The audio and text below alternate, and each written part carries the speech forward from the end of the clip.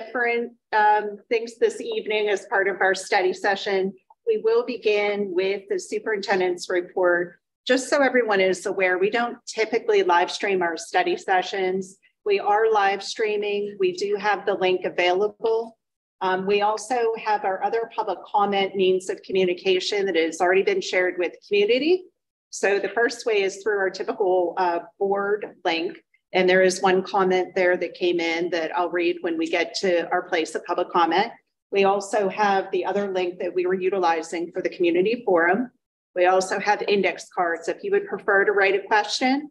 And as always, you're also able to make a comment or ask a question in person. Mr. Muller will um, take a microphone and we'll be able to give you access to the floor when that time comes. Um, also, I just wanted to introduce some members that we'll be including. So I am listening and our board is listening to the feedback from our community, having additional questions about the data that we're using in order for the board to make the very best decision that they can. Um, last week, you met Mr. Anthony Colstock from Crabtree Rohrbaugh. This evening, we're joined with um, Dr. Fred Witham, who is data analyst for Crabtree Rohrbaugh, prior superintendent, has been through this process. Uh, so I appreciate you being with us this evening, Dr. Witham. And also on Zoom, we have Ron Van Orden, who is the Vice President of Enrollment Analytics for DecisionInsite, which was what the company, he works for the company um, that the board had partnered with back in June 2021 to begin this, this data collection. Um, so we do appreciate your comments. We hope that this evening when we have all of the data um, gurus in the room that they can explain and go into more detail, uh, enable the community to feel more comfortable with the data that we're sharing with you. Um, so at this time, I would like to turn it over to Ron if he is available on he is not yet available? Okay. He disappeared. He came in and then he left. So we'll see if he doesn't join back up here momentarily. In the meantime, we can shift. I'm assuming let's go directly into public comment. Um, so if we have any members of the community who are interested in asking questions at this time, we can go ahead um, and do that. And then I'll read a couple of the online one and you have one. Thank you, Mr. Miller.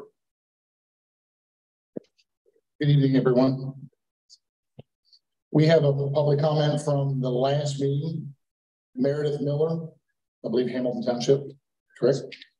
At a previous meeting, it was shown that the max borrowing amount for the projects is 100 million. It looks as though for the budget for option two is well over that. Option three is close as well especially with many costs not being factored in yet. Is this correct? Also, is the entire project being funded by borrow funds or was anything set back to go towards it? And are there any possible grants or ESSER money that could be put towards, for instance, the upgrade of the HVAC system in option one if that were chosen? That was from the last meeting. Did I get that right, Meredith? Yeah. Okay repeat the last part of that question. The last part? Are there any possible grants or ESSER money that could be put towards, for instance, the upgrade of the HVAC systems in option one? Um, I'll leave that question to the district with the ESSER funds if you've already used those or if you plan to use it in the renovation. Project. Right. Yeah, I can't speak to the ESSER funds at this time.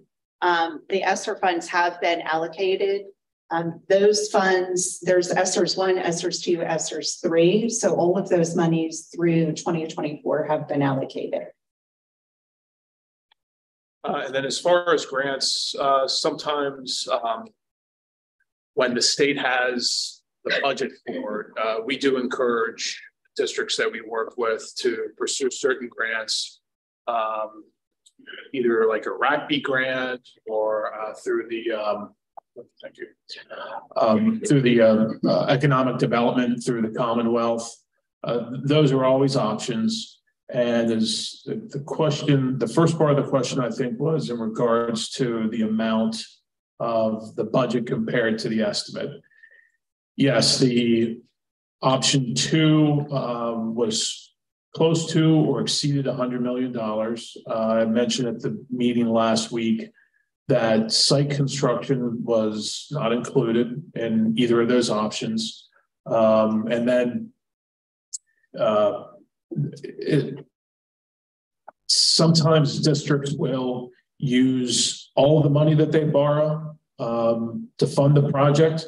Other times, districts will use capital reserve fund or monies from their fund balance to also support the budget uh, if it's if it's in addition to what their borrowing capacity is.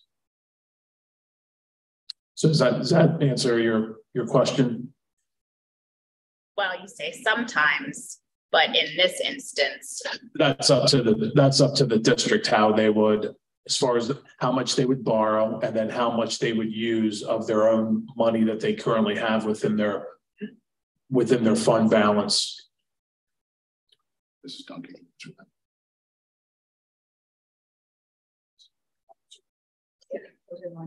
Okay, um, I think Meredith, I answered your question with, um, I sent you the copy of the uh, calculations from PFM. So those were the official calculations of our borrowing capacity. So then what they do is they take the current debt that we have, subtract it, and that gives us what we're available at this point in time. So what was available at this point in time is like 104.5 million. So what happens is one, any project that we would do would be over time. So just like when you have a line of credit, when you pay down your line of credit and your, or your home value increases, your, your borrowing capacity would increase. So over the length of these, any of these projects would be anywhere from six to seven years. Uh, the borrowing capacity would be there for any of the projects that the district would uh, plan to do. Does that answer? little, Is there something more that you I, don't understand? not at the moment. Okay. I don't.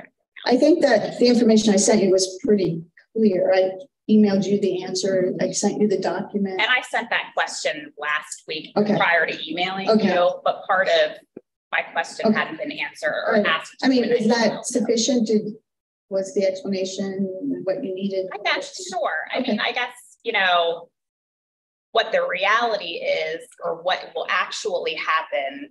I mean, obviously, none of us know what is going to happen. Correct. And we don't know what the rates are going to be. We don't know Correct. How long the project's going to take. We don't actually know the cost of things that far down the road. Um, I guess we all just want a, a magic ball to tell us what's going to happen, you know, and um, it's hard for us to be comfortable with a large amount of money, you know. Um, so yes and no, you know. Okay, um, I do have one public comment that made its way. Thank you, Mr. Miller. Sure. Um, onto our board public comment link. This is from Kimberly Topper. After reading in the Gettysburg Times, the options for the district renovations, my question as a taxpayer that feels that the school tax is already a burden on property owners, what increase does this renovation mean for the school tax on the district property, owners, renters, businesses? Inflation and increasing prices are hitting hard enough. People can't afford to be hit in the wallet with the burden of paying for more school tax.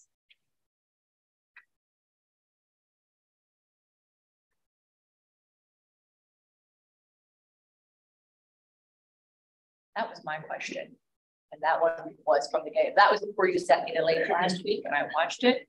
I guess my question right now is, you know, and I think it's everybody's kind of question here. People cannot afford to continue to hit, get hit with school taxes. I get it. We want to educate our kids. Our goal, goal is to keep them safe, keep them secure, get them educated. I don't think we need to build Taj Mahals to do that. I think if we need to make renovations to keep the security there, let's do it. I don't think leaving CTE is the answer. Um, if we're going to leave CTE, why do we want to hang on to it and have to keep the maintenance on it up?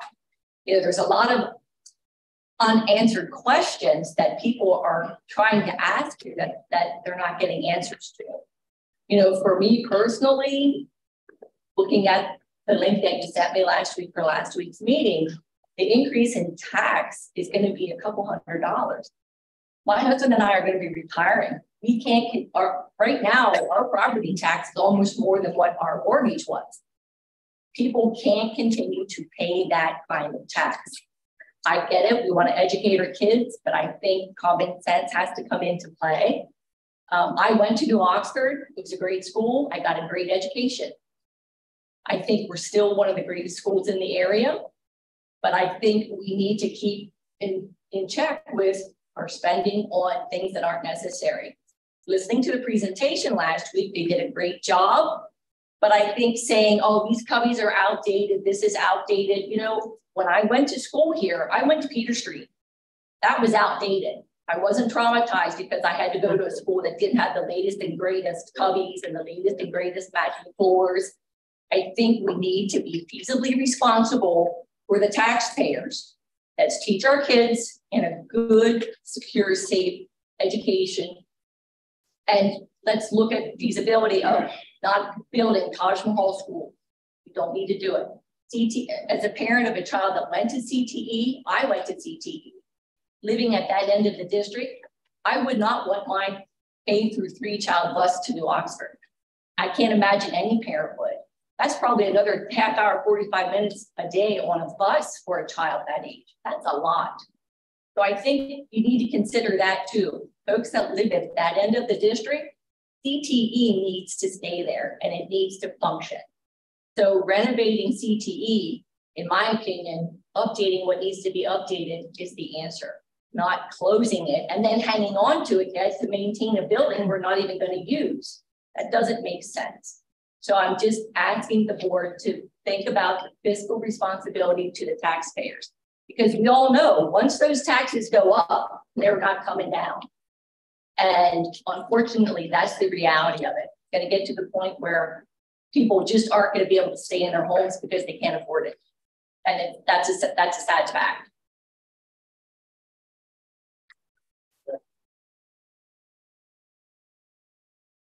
Do you have another question, Dr. No, we do have our presenter who just Okay. came in. Okay. So uh, we'll come back to public comment. Uh, on our Zoom, we have Ron. Yes, Mr. Upland? Okay. So Mr. Uh, Ron Van Porter from DecisionInsite will be coming up here on the screen in just one moment.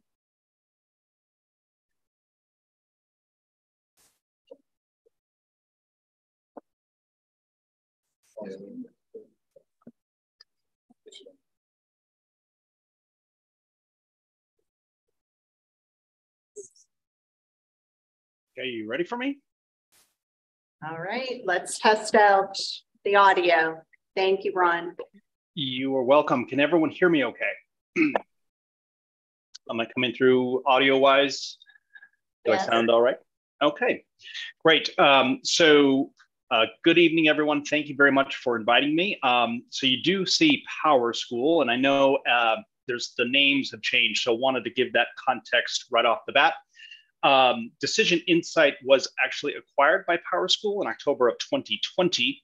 Um, I've been with uh, what was DecisionInsite and now PowerSchool for 12 years and working with districts with um, better understanding enrollment and enrollment trends for 12 years. So um, our name has changed. We're part of a larger company, but what we do uh, for our district clients remains the same. Um, I'll walk through just a brief um, touch on what uh, the work we did complete on behalf of the district and give you some data points, but largely I'm here tonight to answer any questions about not only what does our data show, but how we uh, arrived at those numbers. And I'll uh, endeavor to answer any questions that come up along the way. And share my screen. So you're actually going to get a little glimpse into the platform that um, is available for district staff to access, but it's also used extensively by our team of analysts. And what I'll show you quickly um, does it is uh, very important for us to project your enrollment and project it accurately. So our projections for uh, our district clients do begin at the student level. So you'll see here a lot of data on the screen, but these uh, dots all represent at least one student. And you can see that the technology has um, a, lot of analytics around where students live and where they attend. Um, all of this is used to uh, start with very small geographic areas, and we uh, that's where our two 10-year projections begin. So we will actually uh, generate unique 10-year projections for these small geographies, and then it's aggregated up for your middle, high, and district-wide total. We also have a very comprehensive database of demographic data. Uh, I won't dive into all of that tonight, but we have information about live births. Um, we have information about the changing demographic landscape for all of all of the United States, but specifically um, your district's geography. And all of that is then used as uh, supporting data to make sure we're projecting your enrollment and projecting it as accurately as possible. I'll go ahead and bring up a uh, one of your projections. You'll see that um, I'm going to be looking at our moderate projection uh, right off the bat here. Um, we do produce two 10-year projections, um, a moderate and a conservative. The moderate is always going to show the greatest amount of growth. Uh, the reason we do two is that out at a 10-year time horizon, you can have really two looks at your long-term trend.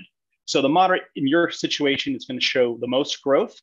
Um, here is a graph, something to point out. Um, 2020 here, as we all know, was an unusual, anomalous year because of the pandemic and everything going on. Um, but we are showing a, I would say, a modest amount of growth. Um, you do see that leveling to a degree out at 2027 and beyond. And that is true um, algorithmically. We do do that. Um, we don't just take a couple of years of projections and then project that out like it's going to continue forever. In our experience, um, generally we do uh, temper some of those projections out in the outer years. Um, a lot of our clients do have new housing growth, and that is true of your district as well. I'm going to turn off uh, some of these plots, you'll see these red areas that are all um, on the map. Those are new housing developments that our team has researched. We gather information about what's being built. The reason we map it is that we can know um, which zones those developments fall in, and we can allocate the, the impact of the new housing to the appropriate school. And I'll go ahead and just pull up the list of developments we have here. Um, you can see all the project names are listed here. We do categorize them as single unit detached and attached homes um, and multifamily. In your circumstance, we don't have any multifamily uh, pro uh, projects in this list here. And these here are the total number of units that are expected to be sold and occupied and these in the year. And this year would always refer to the school year. Um, so this would be the 23 24 school year, 24 25, and so on. And uh, that phasing is really important so we can have a sense as to when that is expected to be sold and occupied.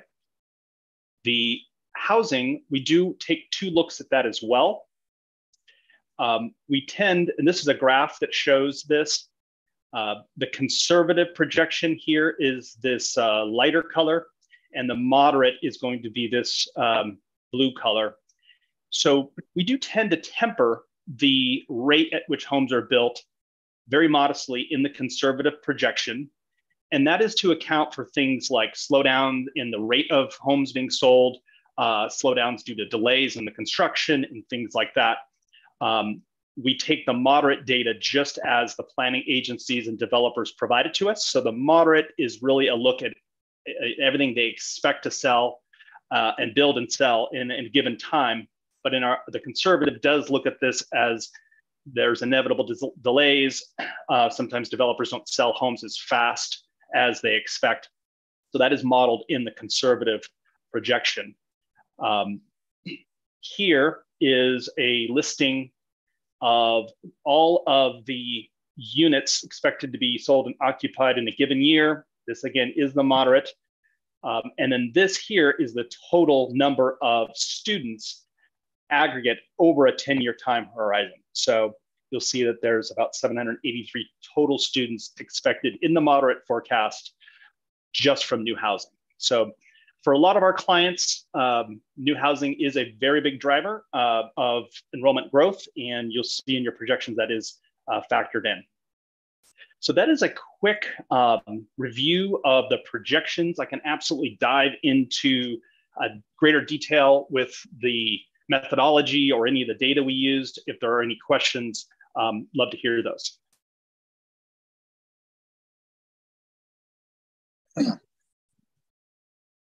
Good question, that is how how do you uh, factor for homeschool trend the homeschool trends that are going on right now? Yes. So um, if your district uh, were to have experienced a decline in enrollment um, due to homeschooling, and if that is something that's been happening historically, um, that would get picked up in our regular um, our regular uh, process of generating enrollment projections. Um, we do a lot of research on national trends. Um, two big things we're seeing. One, at a national level, our fertility rate or birth rate is actually not enough to replace ourselves. Um, the birth rate or fertility rate should be a 2.1 on a national average, and the United States is about a 1.6. So there, the future is one where there are going to be fewer school age individuals.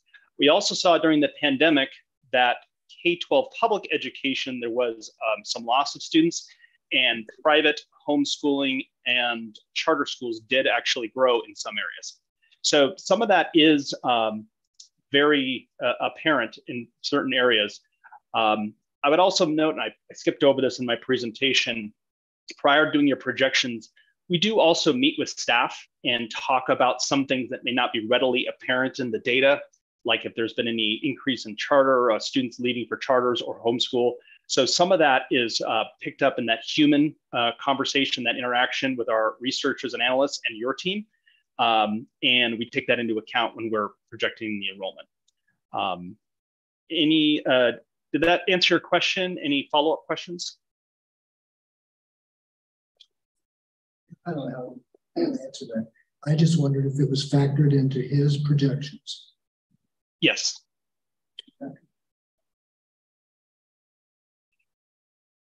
We have one more question over here. Um, do you factor in the potential that some of those developments might be like retirement communities? 55 yes. Absolutely. So, um, and that's a great question. The we do um, have encountered that, and we've actually encountered a number of um, areas in some parts there's graduate housing or there's student housing and things like that. Um, so you'll see here this uh, lot of numbers on this page, but in each project, we do break it out um, in this report into different phases. Um, it might be that they're all single unit detached homes, but maybe this is a, a, a phase. This is elementary, middle, and high. Sometimes you'll see uh, a phase that it's maybe a little higher price point. Um, but in the event that a development is found to be, say, 55 plus, a retirement community, we would enter it here so it is listed, but generally we would have a rate of zero if it, indeed there was it was a community where um, there was no young persons allowed to reside there. So we do include it so that uh, our clients know that we did the research, um, but we would just apply a rate of zero to that so that it wouldn't produce any students and, and hence it wouldn't be reflected in your projection.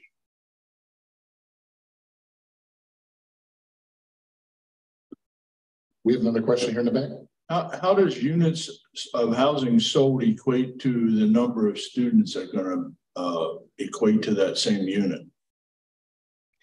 Yes, so um, the total number of units, what we do is we take those total number of units and then we apply these rates that you see here, which is just a mathematical factor to the total number of units, and then we apply it to the year it's expected to be sold and occupied. So um, it this is a, there's a lot of math there. It, it's effectively taking uh, the best data in terms of what what types of properties have generated students in the past, and we apply that to the new potential homes. uh, mathematically to arrive at a number of students. So it, it is not a situation where we go to each individual home and see if there's students there. it, it is a mathematical projection, but these rates um, here, a lower rate would indicate that we don't expect that type of housing to have a lot of students. Um, an example I would give of that, if say like an um, like a urban loft, right, that was designed for a young professional, more than likely they're not going to have a lot of children in that type of housing um, as compared to a four bedroom suburban home, which is designed for a family, we would apply a higher rate to that to then result in uh, a student generated count, um, if that makes sense. So um, the, the, the rates times the units then result in students.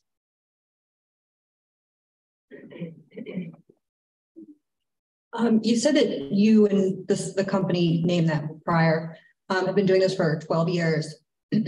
how often are your projections correct or short or too high? Do you know those numbers? Yes. Um, so I personally have been doing this for 12 years. Um, the, the, the platform and the solution has been available for districts for 19, almost 20. Um, and our projections, um, we feel very strongly that we have the most accurate uh, enrollment forecasts available. Um, that's due to the technology we apply, um, there are times when our projections are off, um, and it is a projection. I mean, it is we take the best data we have, uh, the best information we can gather from the district team, and we project that forward. Um, we have had a number of clients that have. Uh, we've been fortunate enough; they've been with us for the entirety of the ten years. So, um, and and we've gone back and done some analysis and checked. Our projections um, do come in between those two, uh, moderate and conservative, and I can show you a graph of what that looks like. Um, so some, some years were closer to the moderate and some years were closer to the um, conservative. Um, there are times when uh, the, the actuals, I'm drawing this here, your actuals should do uh, come in something like this, where it'd be between the, the high of the moderate and the low of the conservative. Um, there are times when our projections are off. Um, there's no question that, I mean, we're, we're definitely not perfect. Um, a lot of times that does, uh, as a result of potentially bad data, um, or the biggest one is new housing, right? If there was something really substantial or a dramatic change in the housing landscape of the market, um, that would obviously result in our projections being off or not as accurate as we would like.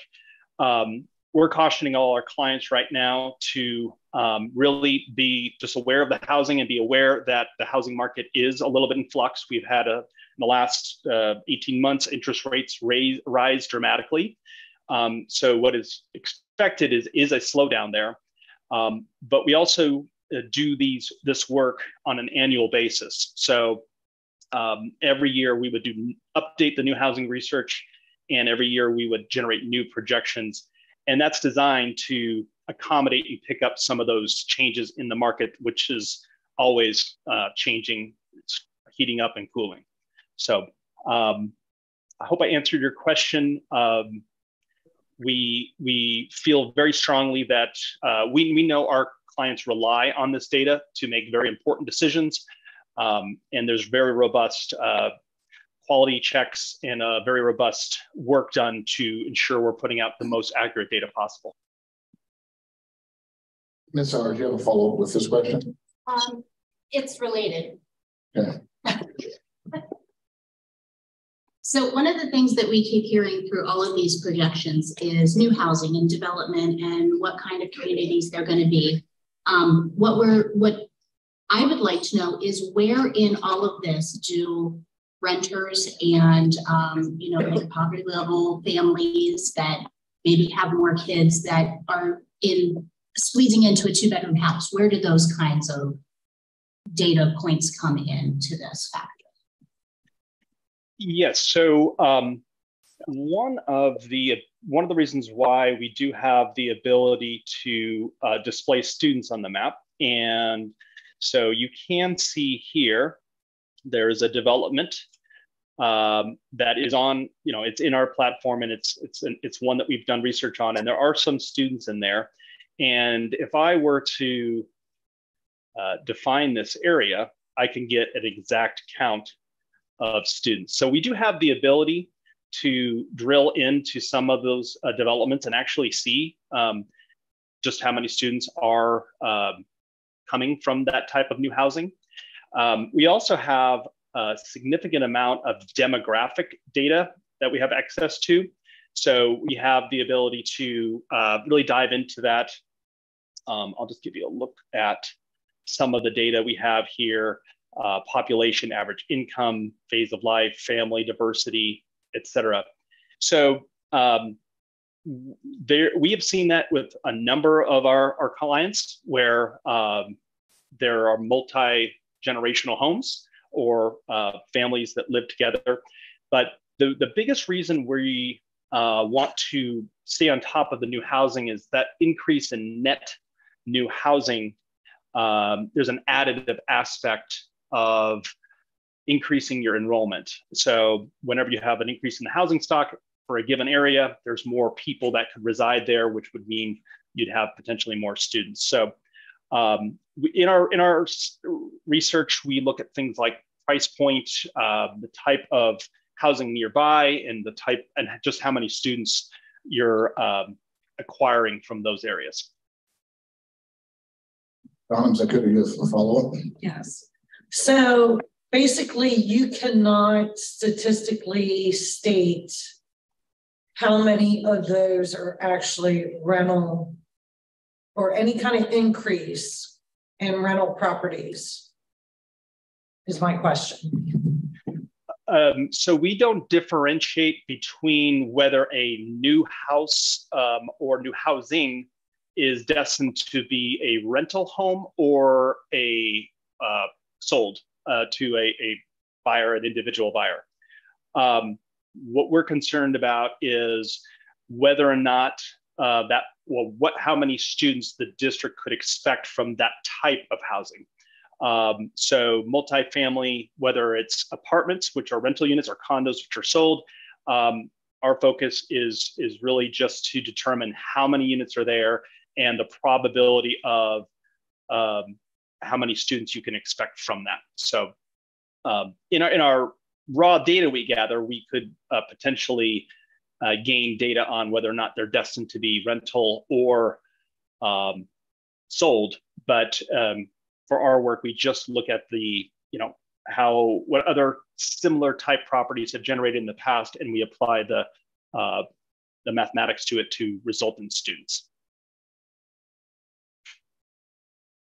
You didn't actually give us your projection error rate over the last year, last 10 years, last 20 years. You just said it was wonderful, it was the best. but I didn't hear any actual numbers. Our, our district-wide projections are less than 1% off uh, mm-hmm. on a district-wide basis. For what period of time? Uh, that's our ongoing uh, goal in terms of for all of our projections um, I don't have, we do have diagnostic reporting in our platform um, that will um, each year, um, a client, uh, we start again with their projections. We will look at what we projected last year and then what their actuals were. And on, on a, each individual case basis, our team's goal, what they're measured on, is being less than a 1% difference. Um, I don't have data on across our 250 districts and average. Um, but I just know that that is where we expect to be. Less than 1% year to year is what you're saying then? Correct. Okay. That's. Did you take the bypass um, that's proposed into account as well in your figures and how that might affect population? Um, so I would have to check on with the analyst on that. Um, I'm not individual, I'm not personally familiar with that, so I couldn't speak to that.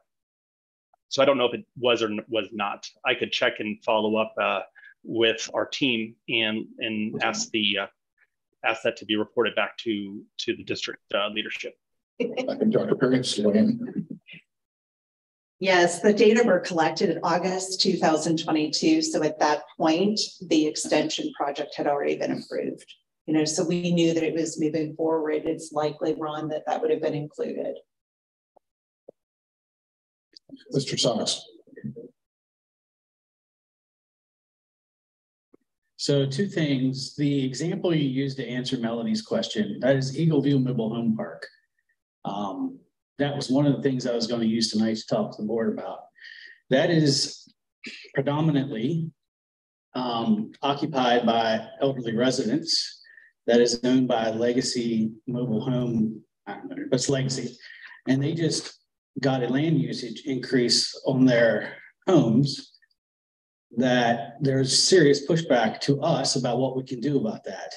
That increase is less than the proposed tax increase you're looking at in both options. And if any board member would like to go on a walk with me through that community, I'd gladly take you so you can talk to these people. You are seriously going to break the back of some elderly people in my community. And I don't think that's acceptable.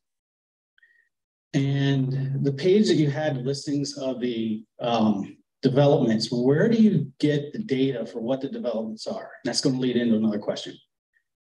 Sure. Um, we, we contact the planning agencies directly, and in the event that we need additional information, we will contact the developers if there's some data that we're not able to attend uh, uh, obtain. But we contact uh, any of the uh, applicable planning agencies and gather it directly from them. Define planning agency. Yeah. Uh, the, the entity that issues bur, uh, building permits. Okay, I can tell you that's not true. One, you're missing that development on there, and two, you have a development listing that this no longer exists. So there's probably going to be a right to know request coming to somebody tomorrow for that this presentation, so that there's a number of municipal supervisors here tonight that are very interested in these development numbers and where you came up with them. Mrs. Swope. If I'm understanding this correctly, you're using data for new housing.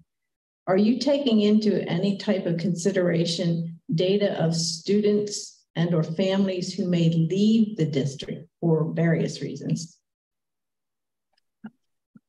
Yes. So um, the new housing is the research is one kind of facet of this.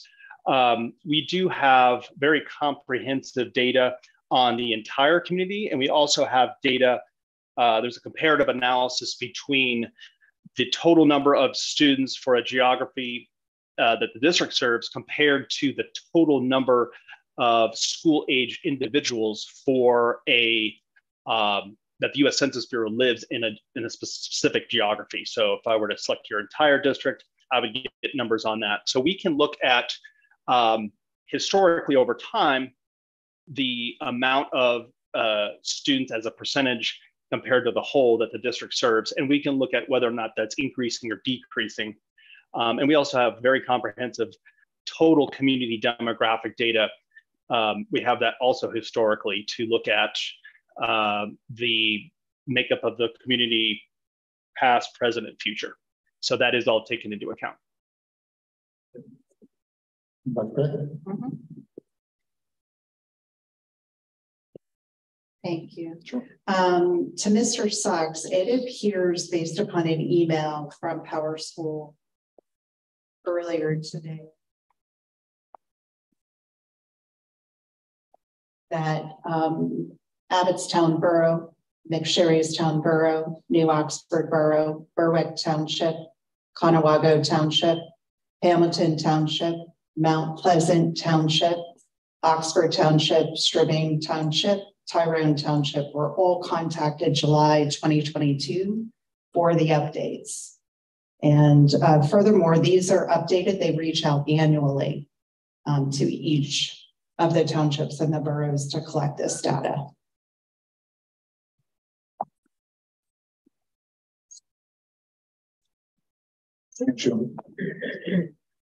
Yes, uh, to uh, Mr. Sox, I believe last week you uh, you mentioned that we done a uh, independent verification of these numbers. So actually, uh, we did uh, over the course of last week using the census data as well as the Adams County planning data, and using a factor looking at the population from 2020 to 2030. across the uh, 11 townships in the district uh, using a factor of uh, 2.5, assuming half a student. It's actually more than what they're using here. So, uh, but that's what's used in the 2020 survey uh, for the census as far as uh, residents per house. And the number that we came up with as far as students using that formula is about 770. Um, if we back that down to what the census says for uh, the only information I found was with Conewago Township in their comprehensive plan. It backs it down to, um, I think it's 2.2 or 2.3 uh, residents per household by the time we get to 2030. If we factor that in, it brings us into about 700. Uh, I don't know the number. The number that was here went by. I didn't write it down, but I think it was about 730. So our numbers independently are confirming the uh, the number of new students that are coming in based upon the census data and the Adams County Planning Commission. Thank you. Is that every year? That's over the 10 year period, which is what they're talking about here from 2020 to 2030. Mr. Schaefer, did you have a question? It's more of a statement than a question, whereas the Eisenhower Drive extension is continuously being used to inflate projections for population growth. More than 70% of the path of the bypass, should it go through, goes through industrial and land preservation. The land preservation, more than, I believe it's more than 50% that's in the land preservation can never be developed. Never. It is preserved throughout the life of the land and, you know, way beyond my years and everybody's years in here. Um, so the gentleman that's giving his presentation, he was asked a question pertaining to the Eisenhower Drive extension um, that should be looked into and, and taken out of the projections on development because it is not going to bring any more development. It's not going to bring any more children into the district. Any questions from the back? Harry? Yeah. In, in reference to the information that was on the different community communities that you had on your page there, where could we find that information? Uh, I tried to look at it as quickly as I could, but you know, it's an awful lot of numbers up there. Um, certainly, we know of uh, two developments in that that are no longer even zoned residential; they're now zoned industrial, um, and they were substantial. They were what, close to 200 plus acres of land that was at one time scheduled to be residential. And if, if this study was done in July of last year, the rezoning took place in November of last year. So it's a rather substantial you know, number of homes that are no longer going to be part of this database. And I think it really, really needs to be looked at. I, as, as a supervisor, would like to see, you know, a uh, that list of developments and a little bit closer. So I just I, I asked before to be able to see this information uh, and have it emailed to me. I haven't yet seen it yet. I'd like to be able to drill down and just to be able to verify it. If you say that it's it's going to happen or that it's on there, that's fine, but we just want to be able to verify that. And the question also would be, are these entitled plans or are these just plans? Because there's a difference between a community that is just being planned or one that is fully entitled and ready to be built because we don't, we've seen numerous times where a lot of these are, are planned, but they never really happen. And, you know, these projections are, are going to cost and, you know, are creating the need to spend a tremendous amount of money. We just want to make sure that the, the information is accurate. And if you lose, you know, 15 or 20% because of one development not going in, that can be a substantial difference.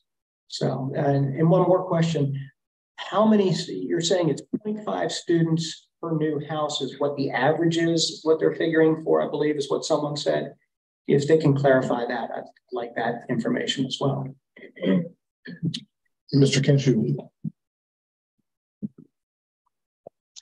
Um, I, I, can speak to that. Um, so um, one, the uh, any of this data here, um, we can absolutely uh, share that with district staff, and then they can uh, make that available however they would like to. Um, there is always um, a challenge with new housing in the sense that uh, we do the research at a point in time, and there's always projects being added and taken away. Um, certainly, if there is a substantial uh, uh, development that were to just be canceled or were to have gone away, um, we can absolutely update uh, the data to reflect that. And we do that on an ongoing annual basis.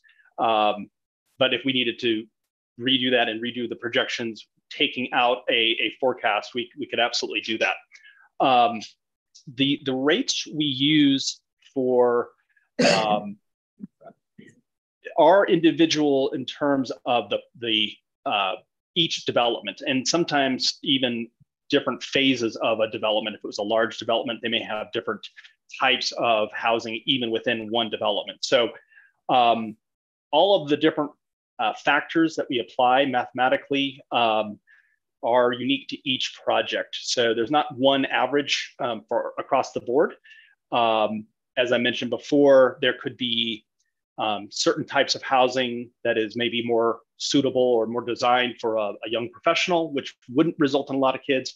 Um, and there's others that are would be higher. So, um, but this can also be reported out. We can make this available. Um, really, anything in that I'm showing today, there can be um, we can provide for people to look at. Yeah, and what I'd say on that, if you look at the the numbers here, it's actually less than 0.5 uh, with the, the, multipliers there are there. But the 0.5 comes from the census. It's also a standard metric that's used. It's actually used in the Conewago Township uh, comprehensive plan to plan for growth. Uh, so to put that into real terms, what does that mean? It's kind of um, nebulous, right? So at 2.5 residents per household, if you say, you know, what does that mean for uh, five houses or uh, so five times 2.5 i'm sorry four times 2.5 gets you to 10 right? So there's 10 people. Uh, for 10 people moving in at a um, 2.5 per household means that you have three houses of two which is consistent with the trends that we're seeing where we're not seeing families come in. We're seeing i'll just say the retirement or the empty nesters uh, coming in. So three out of every four houses only have two people, no students, right? And then you have one house, and this is um, starting to go out of sync with the data, but one house that has, I'll say, your traditional nuclear family, two uh, two parents, two students, right? So that's how you get to 10. So that demographic, you know, you gotta you gotta have some sort of metric. It fits with what we're doing as an independent assessment of these numbers. And again, they do come into alignment. Uh, and it fits with the trends. We heard you last week that you know the uh, it is an older crowd. They're not having the you know the children that we had. Uh, so there is some consistency there. That's where that came from.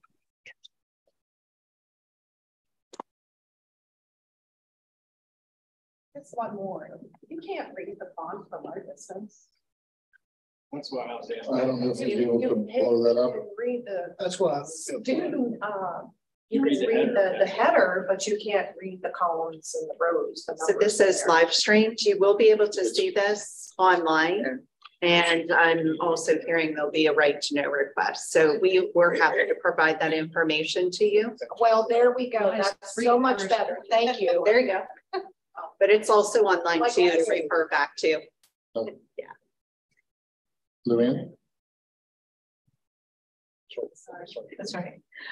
Um, I'm a Conewago Township Supervisor and I'm looking at the first uh, development you have listed there and you have errors point listed three times. Maybe I'm being, you know, I'm looking at it. What's why three times? Elementary, middle, high school. So over all the students that you're looking at, you're looking at approximately 700 students per year. Is that what you're saying? It, over the over the course of the 10 years, 700 students. So those 700 students could be as you said, elementary, high school, and middle school. They could also be going to parochial schools. They could be homeschooled. They could be going to uh, cyber schools or any of the other things. I thought the focus on the school that we're talking about at this point with CTE and NOE and the influx of students onto them. If you're looking at it this way, you're looking at 700 over the course, not basing it just on the elementary students, which is where this whole thing I thought was going, was for the CTE and the NOE. Am I wrong or am I right? Uh, yeah.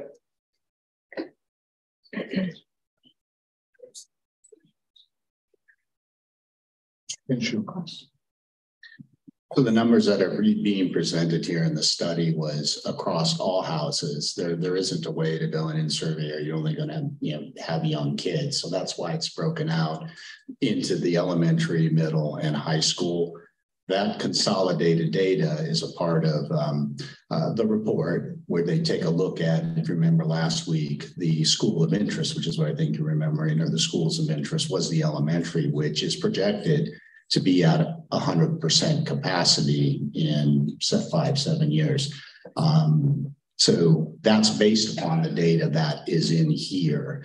Um, so it's not 700 students in seven years, uh, all going to the elementary. It's coming to the to the district, but that with the um, formulas and such that are used, uh, there's and you know that's based upon the type of community that's going in. And you know the data shows historically that this is uh, you know going to have this many elementary or this percent and that's what's used to uh, do that projection that single table uh, that was presented last week which said that i think the high school or the middle schools were 100 percent uh, and then the high schools and the middle school was like 60, 70%, and CVIS was, I think, 70, 80%. Ron, can you go to your projections that show the enrollment, the enrollment projections by grade level? Sure. Uh, give me one second to pull that up.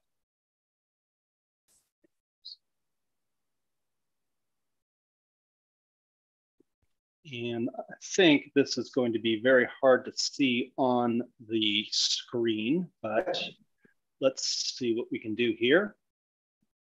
and let me see if I can actually, this might be easier to see. Um, okay, let's start here. I, I also have one that is uh, 10 year. um, we put moderate in this report um, mainly because it's just easier to see because it's uh, doesn't go out as far.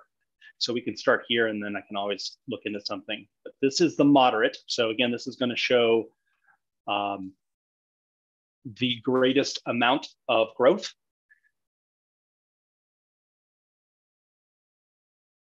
So what our firm will do is when that information is provided for the projected enrollment, we will look, we will compare the building capacity for each of the schools to that projected enrollment.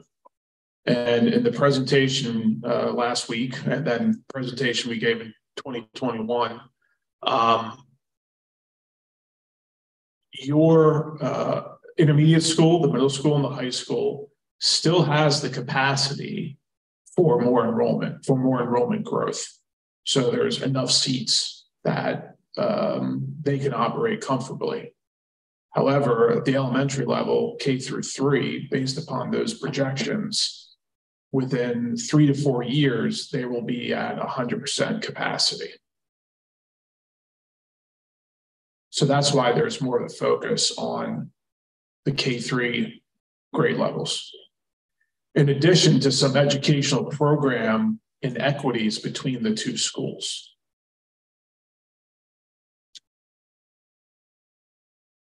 I think the district, um, one of the guiding principles that they established very early on is they wanted all the students in, in the district to have the same opportunities.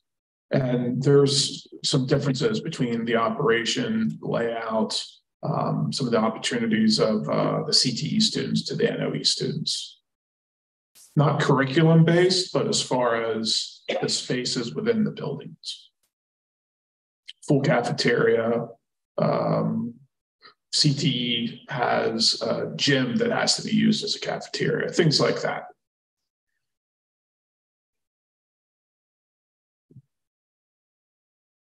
Ms. Crew, did you have a question? I mean, Yeah, I just kind of. I'm going to pass it back to Harry then. So I just want to kind of recap that. A lot of, you're saying July 2022 was the last time that everything was gathered to make these pretty charts, correct? Is that question for me? Yeah. The um, the research uh, I can find out exactly. Um, this final report, which I'm showing there, uh, was finalized in February, but the new housing research was done in July. Let me find out exactly when.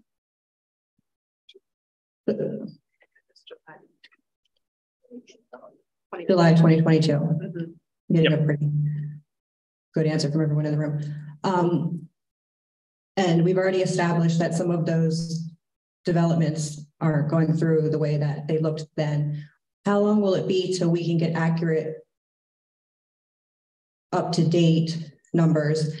And for the one chart you showed, it didn't look like a very vast elevation over the next couple of years. So I'm not really sure why this seems so dire. Uh, we're talking about this here, the, the graph? It's a straight line. Not even sure a marble would roll down it. Nope, not that one. The one you drew the yellow line on. Uh, uh, yes, that was showing the difference um, between the moderate and the conservative.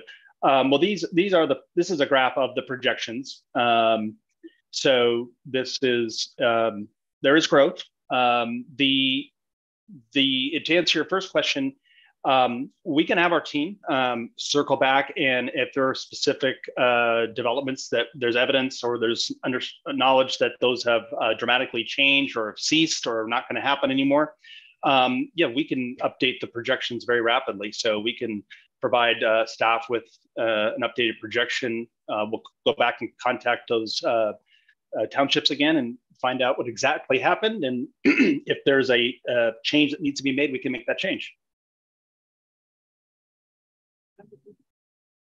Again, um, so you're showing 783 students over the next 10 years. What was it in the previous 10 years?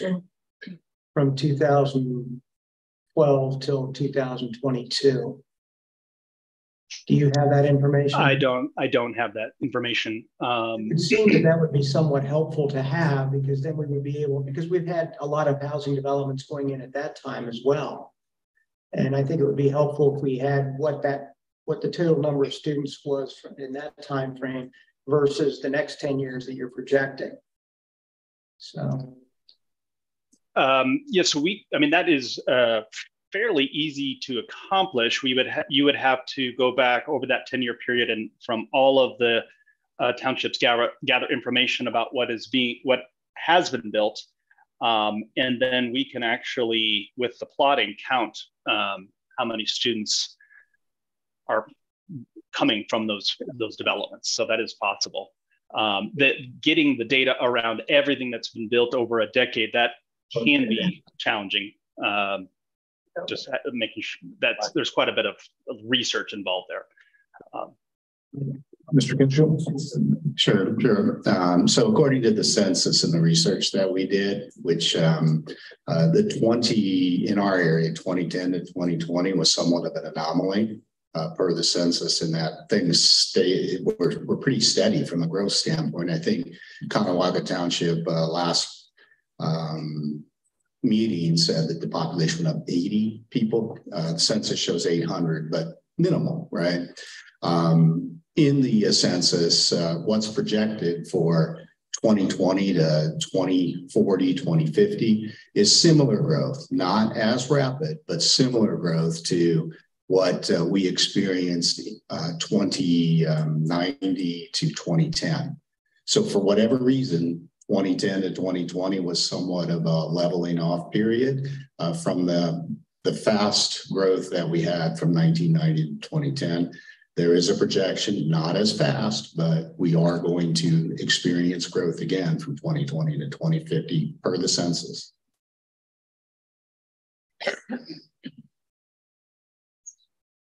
Folks, something that happened, we went through this feasibility study back in, in the end of the 1900 or 1998, uh, 99.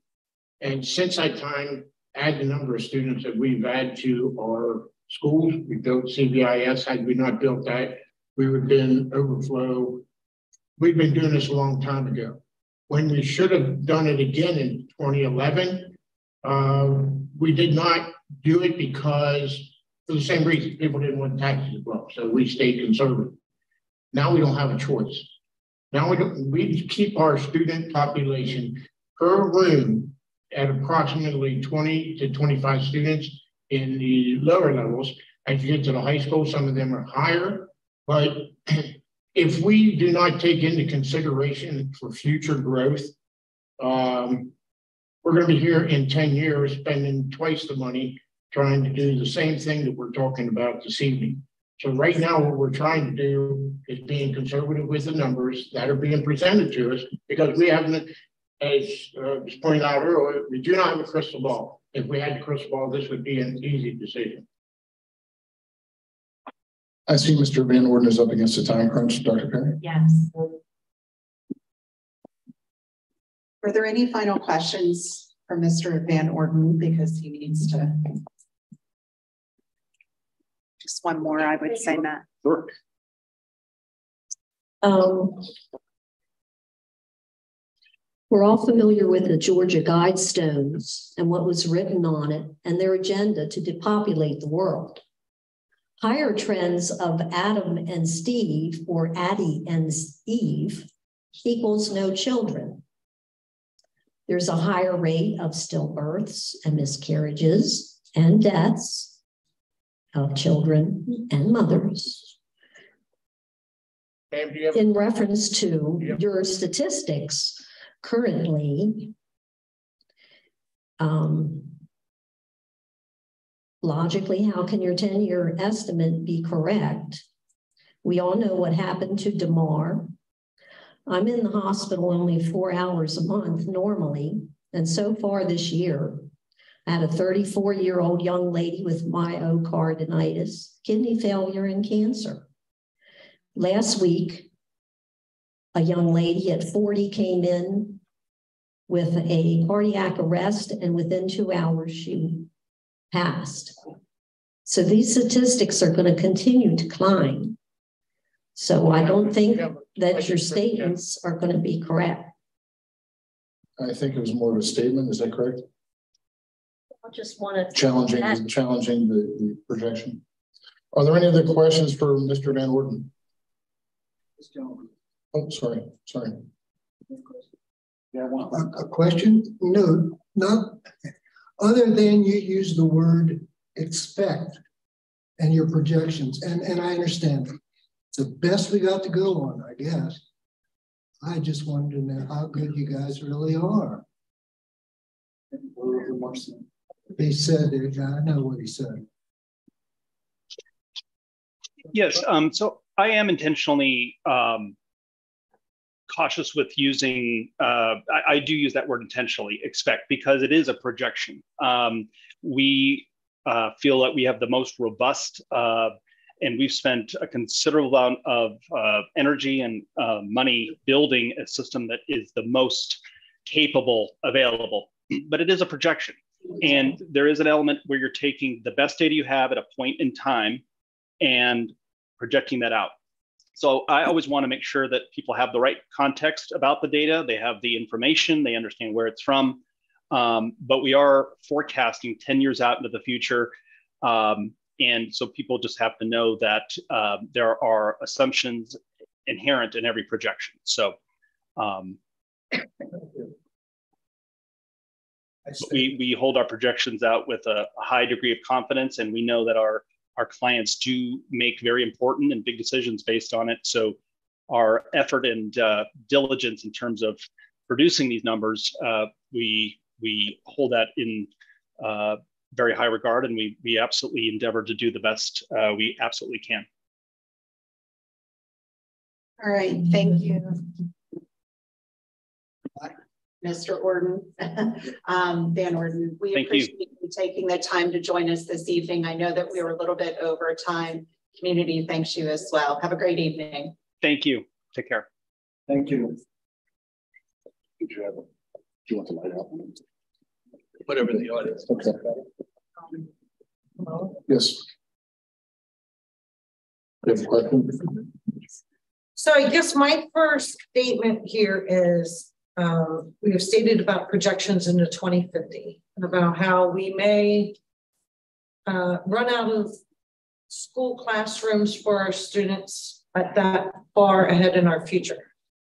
I myself, as a community member, do not have a problem with building a new school if we need it for our children because of growth. Where my problem lays is CTE, New Oxford Elementary, that have not been maintained over the years and now require extensive amounts of money to bring them up to where they need to be for standards, plus additions added to them. The additions I don't have a problem with. So that brings me to our school budget of only 5% of our budget is put into the maintenance of our facilities, where we have 60% of our budget going towards our administration and our teachers. There seems to me that there's got to be some kind of adjustment in our future budgets to put to allocate more money into the maintenance of our properties. So in 2015, we can continue to keep the schools open that are normally operating at that time and possibly adding an addition space within those facilities or a new school. I think the community could justify that more than to walk away from properties and leave them abandoned or, you know, I mean, help me out here. But you see my point. But on my second thing I'd like to also add is the Brethren home continuously grows. And I understand that that's an elderly environment, 55 and over, retired, so on and so on. But they are excluded from school taxes. Are they? They were? Are they still? There is. No, there, there are certain properties that have a um, adjusted value. It was properties that they had years ago that have to do with the healthcare, but the other properties that they have been purchasing are 100% taxable. And that the Adams County Courthouse, it, I'm sorry. Please explain. that. Okay, go ahead. Since, since you're all knowing. So my question is, if I moved into the Brethren home and I bought a village home there, am I expected to pay school taxes? There, this, the, you as the owner of the cottage won't pay, but the brother home sends us, they pay taxes. There are certain properties that are not valued at hundred percent assessment, but they do pay taxes. At minimum. Minimal. It depends on which properties it is as to the value whether they pay hundred percent or they pay at a fifty percent value. There are lawsuits out there where by the, there are multiple uh, home type facilities that sued the, the, the state saying they're for nonprofit, therefore they should not be taxed. We have an agreement with the Brethren Home that properties where individuals live like off the uh, off the medical facility do pay a portion tax. So yes, they they they have an agreement with us. This was done back years ago. They renewed it again, and we are we are living at, at what they'll give us at this point. No, they're partial. So, so they're They- dictating they're you. Partial. So which properties it is, not. I can clarify that. You, you participate in what's called a pilot program, a payment in lieu of taxes that they agree voluntarily to pay you a percentage, not one hundred percent. No, they, they have surpassed the payment in lieu of taxes. We no longer have a payment in lieu of taxes because their developments have expanded to the point where they have reached that level of taxes. They never dipped below what they paid. So in good faith, what they did was they continued to pay us a payment in lieu of taxes to equal the same amount. So they never dipped below what they were paying. They didn't want to have any ill effects on the district. So what has happened now is the properties that they have been adding come on either some come on at 50%, some come on at 100%. You're welcome to call Susan Miller at um, Adams County Courthouse but they are paying for those properties. They no longer give us a payment in lieu of taxes. Okay, I just, is it clear though that they do not pay hundred percent? Certain properties, they do not, not all. It depends. There's, as Mr. Gruff was explaining, certain properties that have, um, I believe it's like the medical um, portion, they don't, but other properties that they own do. The independent living, I guess, the cottages, you're saying that they pay one hundred percent of your taxes? They're paying one hundred percent. So, okay. There are certain other that. Yes. I think.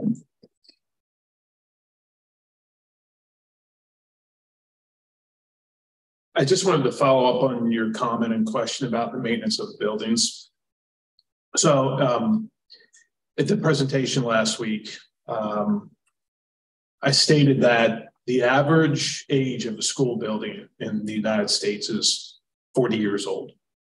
And the life expectancy of these building systems and interior finishes is only 20 years old. As a neutral observer, and we work with school districts across Pennsylvania, in Maryland, in Virginia, what we're seeing in your facilities is not unlike any other district. It is not a lack of maintenance. It's just, it's just the age of the buildings. This is not unlike anything that we would see in a building that hasn't had a renovation in over 20 years. So this is common. And you know, we understand the efforts that the facilities department has to go through uh, to keep up with the maintenance of the buildings. But to replace these systems, to upgrade the systems, sometimes it's just not that easy. These buildings are heavily, heavily used with all the occupants, all the students coming in, the staff, um, in the evening, during the school day. This is this is common.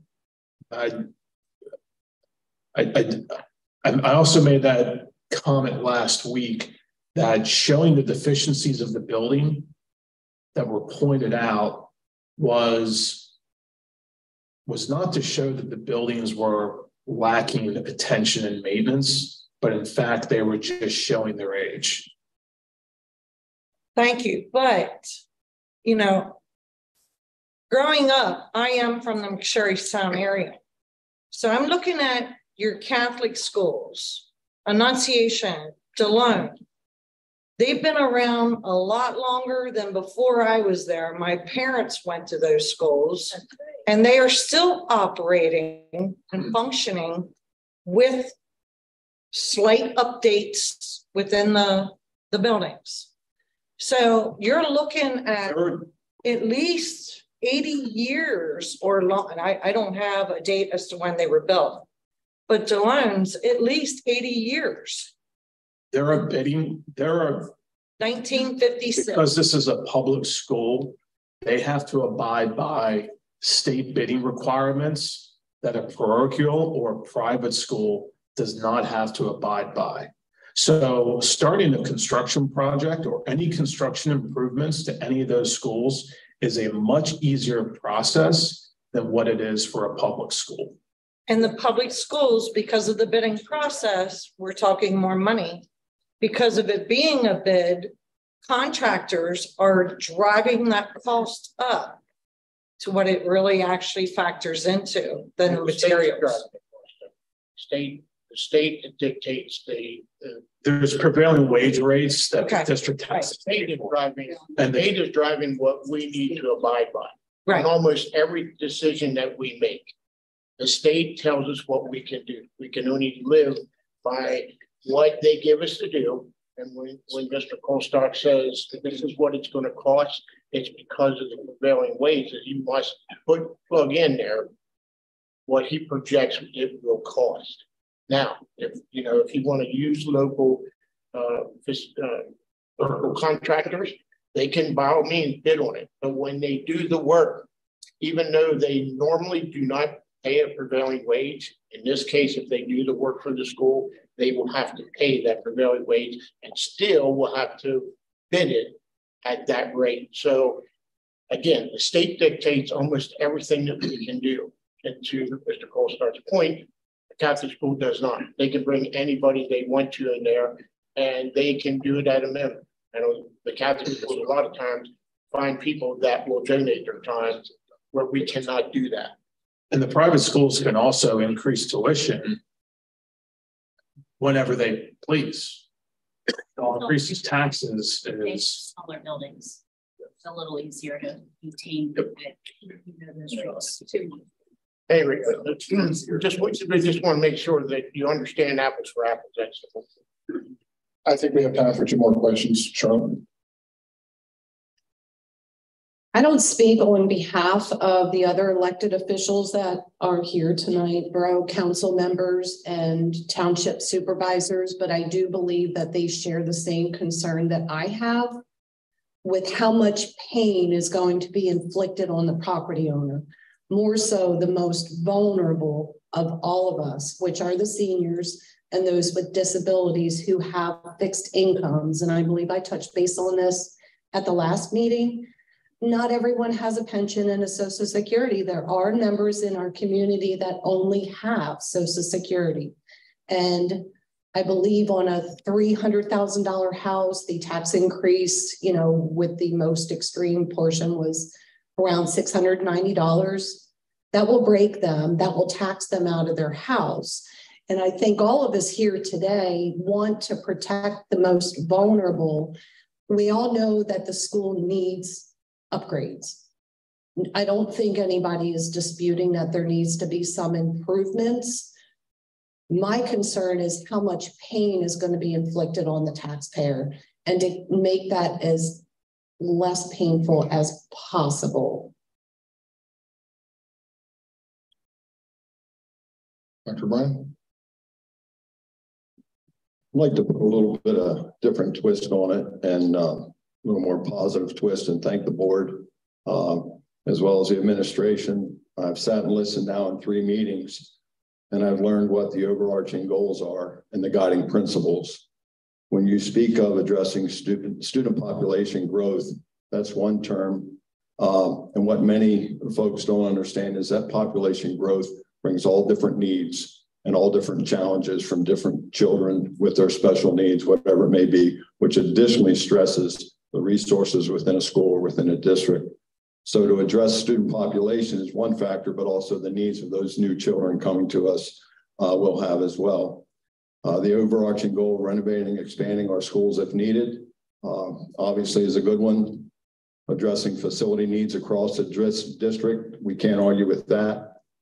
Uh, creating uh, equitable situations for all of our students who can argue with that.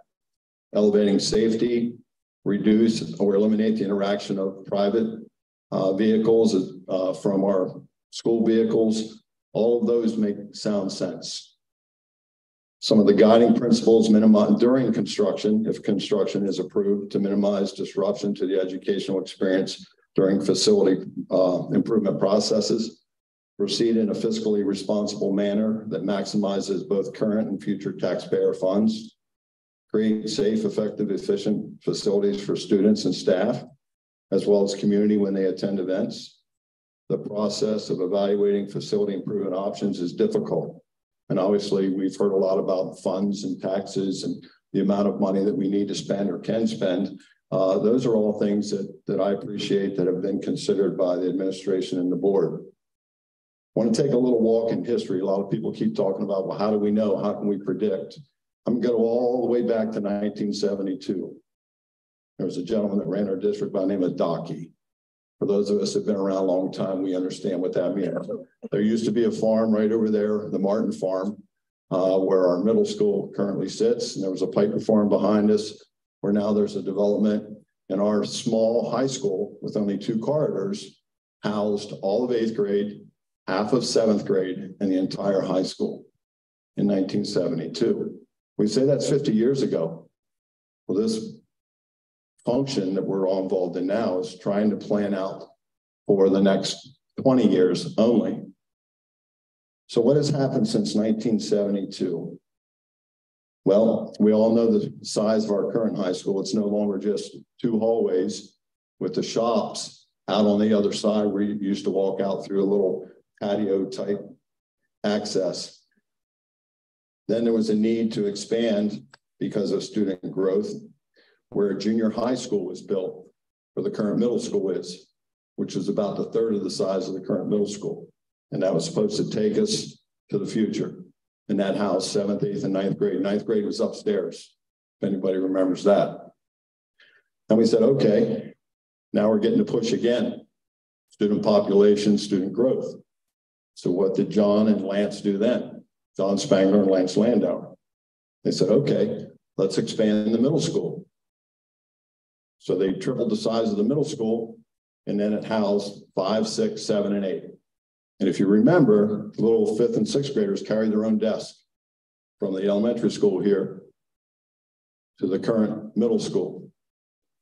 And it wasn't long after that, those buildings weren't big enough. And then we needed CBIS. So now we have CBIS. So what does the future really hold? If we really think that minimizing what we intend to do now is going to save taxpayer dollars? I'm not so sure. Or are we going to be back in here 10, 10 years from now concerned about the same issues? I have to have faith that the board and the administration is going to look at all the factors. I hope that they, if they choose to build a new school, that they certainly do not build a K1 facility and put another transition in the educational process for our kids. I hope they don't squeeze a building between CBIS and the middle school. The campus is already crowded enough to take away current fields that are already there where the kids are safe to play, safe to practice, and allocate them over to this site where there's and raise this building and then have this openness for kids with no safety or security. So the answers are tough and it's a challenging process. But if we do choose to build, if the board does choose to build and the administration chooses to recommend that, I hope we utilize the land that was purchased years ago on the farm. Yes, it will be more expensive to build there. But if you're worried about the future, rather than cram another building on that campus, utilize the resources we have. If the board chooses to do that, to do that, CTE can be sold. That's a valuable property. This property here, because that bubble is going to move through our schools. We're worried about the elementaries now. But what happens when that bubble moves all the way through? Yes, we currently have space. And we say that we're what, 78% capacity at this point, roughly. What happens if that changes? If we maintain this building, we can move the district offices over to here, take technology from upstairs. We have additional space in that building over there. So there's options to consider. It's not as easy as it sounds, uh, but I do appreciate the opportunity to sit and listen in three meetings. Um, I do have a unique perspective, having been in education for 39 years, as well as now working in the construction industry. So it's, it's difficult. It's very difficult. And I appreciate the opportunity to hear not only the opinions of our community, but also that of of our board members and the folks that they have uh, enlisted to help us through this process. But my overarching goal is that my grandkids have the quality of education that I had when I walked these halls and that my kids had when they walked through these halls. So I appreciate the opportunity. Thank you. Yep. We have time for one. We had a hand raiser. Let me follow up. We're talking a lot about expenses, but is there or are there uh, avenues for reimbursement to the district? Is that a hand Um, so the Department of Education used to give um, subsidy, which was called PlanCon reimbursement. That has been in a moratorium for the last 10, 10 years. Um, as I noted at the presentation last week, to be eligible for PlanCon reimbursement, um, project a district had to submit a feasibility study. Uh, so we've continued to follow their guidelines and checklist that in the event um, that if funds were to become available, then we could get your project into the pipeline to, to receive that reimbursement. We have heard rumors now with the new governor uh, that there is possibility of bringing PlanCon um, back on board. Uh, and we, we want to make sure that if it does, um, if it's going by the old guidelines or new guidelines that were potentially proposed a few years ago, that we're prepared to submit your project for if you move forward with a project. Um, and it would be eligible uh, because there's different factors of whether it's new construction or additions or renovations they could potentially receive those uh, uh, that, that reimbursement uh, subsidy back. So again, don't have a crystal ball, but we're hopeful that at some point it uh, funds will be available from the Department of Education. Thank you, Mr. Colescott. Okay, thank you all. Um, we also have Dr. Fred Witham, and I think to the, the point of the data and the questions that are coming from our community about the validity of the data and how we're collecting data. Uh, Mr. Kinshu had mentioned how we've done our own internal research. Um, Crabtree Rohrbaugh has done the same. So this is in the spirit of triangulation of that data. We're attempting to see if it all points us in the same direction. So while it may not be perfect, at least it's pointing us in a direction that kind of says, yes, we're looking at three different subsets of data. Um, this is what they suggest. So with that, I'm just going to um, turn it over to you, Dr. Webb. Sure. Going to throw that PowerPoint up. It'd be great. So, uh, Dr. Perry, I hope you don't mind if I stand. I'm just not a sitter. Um, while she's putting that up, um, I am Fred Witham. I have uh, worked in public education for 35 years prior to my retirement. My doctoral work was in school planning, uh, and I taught a course at Shippensburg for a decade. Um, and I was bringing uh, my classes, my graduate classes, off and on to the architectural firm. And they offered me a job in 2019, knowing that I was doing these reports the, from these courses. So I went ahead and what we did separate from DecisionInsite was to produce our own set of enrollment projections. Um, we do that as a standard for districts who do not um, go with a third party. They do not use a DecisionInsite or Forecast5 or one of the others. Um, and we also do it for districts who have third party projections just so that you can get a little bit of a check on the validity of what they're what they're um, telling you. So I can tell you what we found.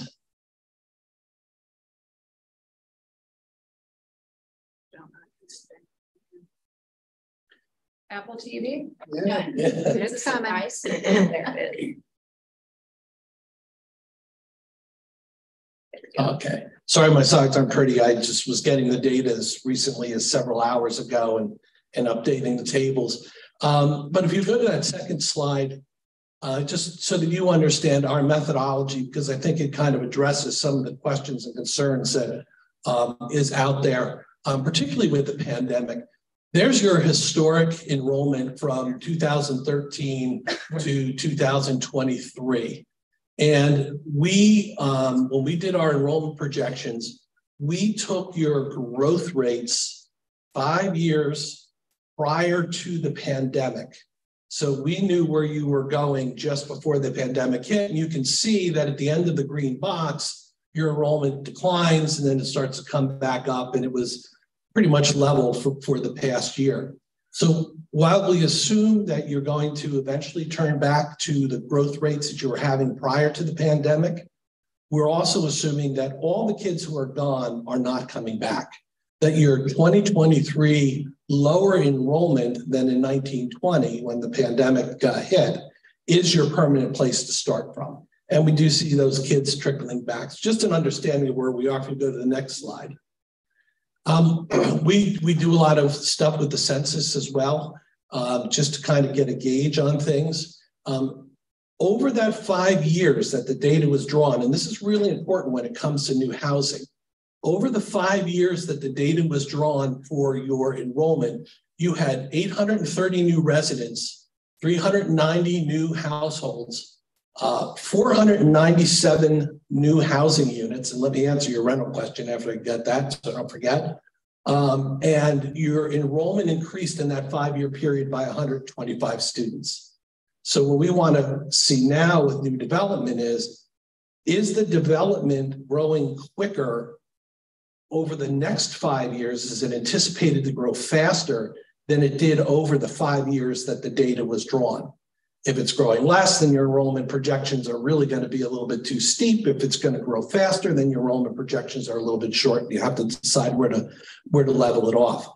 But um, since from in, in that time period, um, you gained um, 276 housing units and 219 additional rental properties.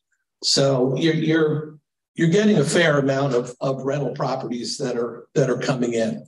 So if you go to the next slide, and this is another answer to a question that came up.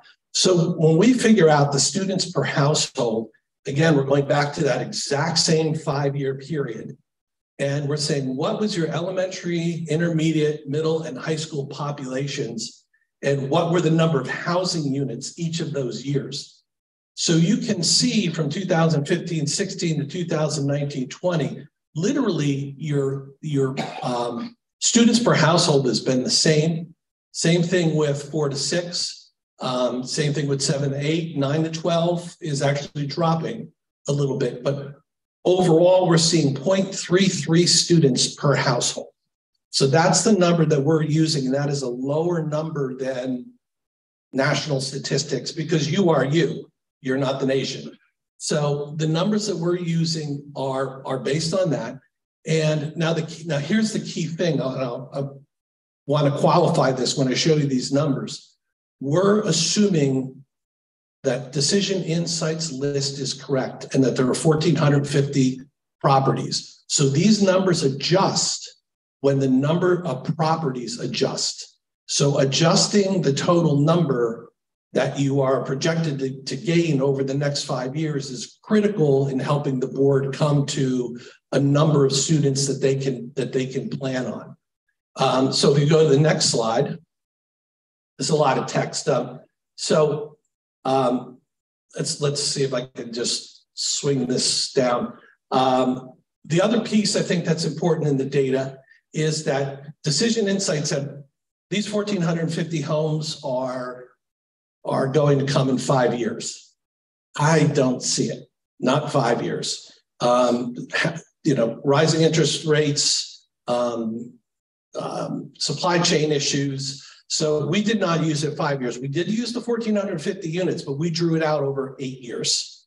Um, and again, eight years is kind of, honestly, anybody tells you they got great projections past five years, mm, not so much. I mean, if you went back five years ago and said, what's the enrollment going to be in, you know, 21, 22, nobody had a factor for the, you know, the pandemic. It just came out of nowhere. And there's just, that was a big one, but there's lots of things that happen, like bypasses and other things that come in. So we really, we really um, are focusing on five years, but we're bringing those developments in over eight. So we're projecting that you're going to get an, an additional 12 elementary students per year in grades K to three, um, nine in uh, four to six, six and seven, eight, and 13 in nine through 12. Um, if you go to the next slide, So here's, this is a comparison. I know that's kind of hard to see. I'm sure Dr. Perry will make it available to you. Um, but the, the purple line is DecisionInsite's moderate projection. So that's what they said you're going to get is your enrollment each year through 27, 28. There are three lines that are lying on top of each other. Those lines are um, our projections based on what happened three years prior to the pandemic and our projections based on what happened five years prior to the pandemic. And we've been doing these and checking this since the pandemic started. We've been, we've been kind of settled into this methodology. But you can see that our lines are really falling with 1,450 homes right on top of DecisionInsite's conservative analysis. Now, what I will tell you that's also important in the board making the decision is that if you ask the DecisionInsite person, they would say, when you're building, you need to plan rooms for the moderate. And when you're staffing, you need to plan rooms for the conservative. We follow PDE's guidelines, which says your enrollment projection plus 10%. Because the state does not want to, back when they were giving you money to build schools, they did not want you to build a school, build it too small, and then come back to them in five years when you still have 15 years left on a bond and say, oh, we didn't build it big enough. Now we want money from you again. And the, the state's answer when they were reimbursing was no, you got one shot to get it right for 20 years, and we're going to give you a 10% leeway above your enrollment. So if you looked at the number that we were going to plan for, that we would recommend, we would give you our enrollment numbers plus 10%. So it really, you can see the green line is actually our enrollment plus, plus 10%. So the number of classrooms that we're saying that you should plan for based on 1,450 is really pretty close to just a little bit above um, what DecisionInsite is. The other thing that factors in there, and, and now this is kind of like intuitive, but your schools are getting smaller and it's happening everywhere. The number of seats aren't going away, but the number of special needs students is increasing exponentially. And, and uh, those students absolutely deserve an education. Uh, they absolutely deserve to be here, but eight autistic students is the most you can put in a classroom. And those students, because of the apparatus and the curriculum and all the teaching strategies, require a full-size classroom. So often what happens is you would take a full-size classroom that would seat 25, and all of a sudden now it's seating eight.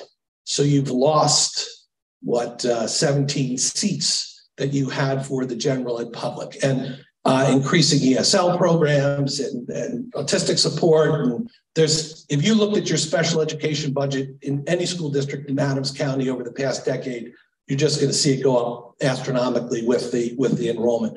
So we're um, you got to kind of keep that in mind. That eats away at that 10% future growth that you have. Um, if you go to the next slide, we broke it down. Um, here it is again. This is just K to three, and you can see our numbers, our lines are lining up right with their conservative. And what we would recommend would be right around what they were recommending for um, their uh, moderate projections. And then uh, and the, with the green line being above the red line, the red line is the total number of seats that you have. The green line is the number of seats that you're anticipated to need to schedule that student population. So you can see that you're at 1262, but the projections are showing that you need another 200 and some odd seats in grades K to three. So it doesn't, it just doesn't have enough classroom space based on these enrollments. If you go to the next one, um, four to six, um, you can see the green line is below the red line. So we're projecting that, you know, five years out, you have adequate space at uh, your four to six building. Your middle school and your high school, the middle school is the next slide. Uh, you've got plenty of room um, in the in the middle school. You should be planning for 767 and you have 934 seats uh, that are available total. And then um, in the high school, um, you uh, should be planning for 1,600 kids, 1,608 seats, um, and you have over 1,800 seats. So it's really not a question grades four to 12. Um, it's, it's pretty much lining up with, with what DecisionInsite is providing to you.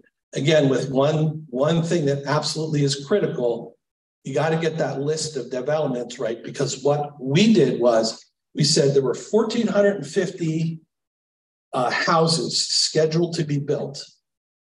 In the enrollment projections over the five years, there were 497 homes built. So over the next five years, you're projected to get 500 and some odd homes that are not considered in the enrollment projections. So then we layered in that delta, that difference between what had happened in the projections and what is anticipated to happen beyond what's in the projections. And then we rolled in those, those number of students each year. So I'll stop there and um, answer any questions that you have about our methodology and the numbers that we came up with. I don't have a question, but I want to thank you for making the screen larger so we can follow along with your presentation. Fred, what's the ESL projections district? We don't have, I guess we could go back if we could get the records and you could could look at your numbers. Um, we're the, at this level of study, these are really kind of like, these are big number kind of exploratories.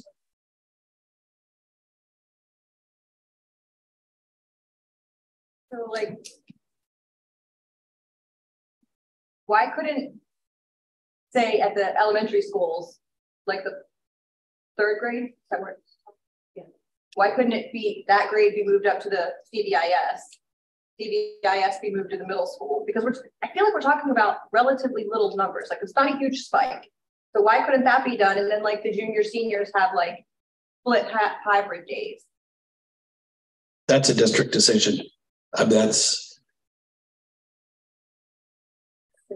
we looked at a lot of grade configurations very early on, you know, and when we were punching the number with a one-off grade, there wasn't enough capacity from when we were doing the initial math. So we were looking at if we move third grade to CVIS, for example, or sixth grade up to the middle school. There was even an option of CVIS just being two grade levels and the building was not even going to be close to, it was going to be underutilized, I believe. Correct.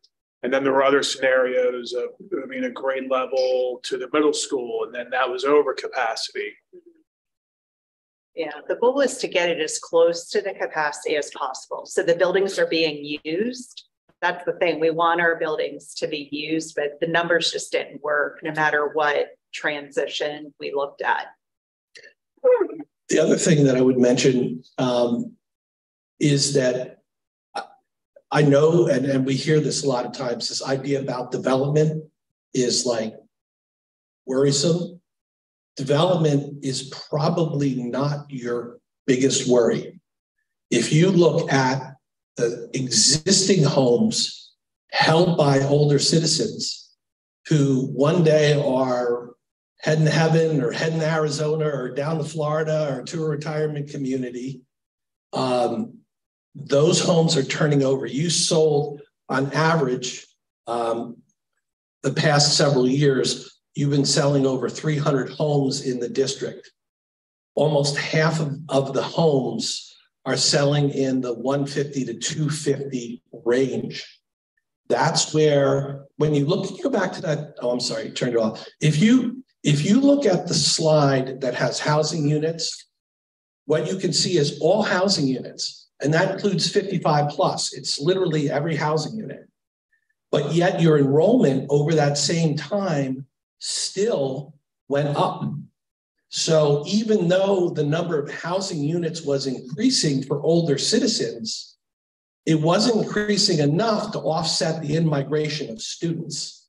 And the, the, the, um, the new house is really kind of like the icing on the cake houses that are existing that are being sold and changing hands are accounted for within the projections that are done with no development. And then the development is adding on top of that. And again, if you look at your growth rates over the five years leading to the pandemic, someone said, oh, that's not a very steep line. And it, it's not. It's like, you know, one, 2% a year, but it's, you know, it's 50 students, 50 students, 50 students, 50 students was 125 over five years. If you add 125 students and your highest rate of incoming students are elementary kids, K to three, that's where you're going to get your, your push. So um, that's all, I mean, that's all kind of, um, that, that part is baked into what happened last year, what happened the year before, what's going to happen next year based on, based on those things. Thank you.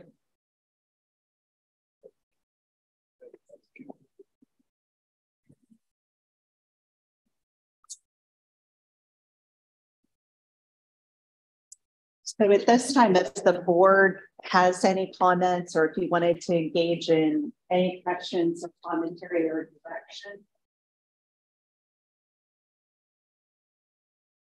Okay, um, so I, I don't know the best way to say this. I think actually Dr. O'Brien um, kind of stole my thunder with um, the way you put it out there, um, which I'm grateful for actually, because I think the one thing that, um, and, and I know I'm speaking for me, I'm hoping that I kind of am speaking for the board as well.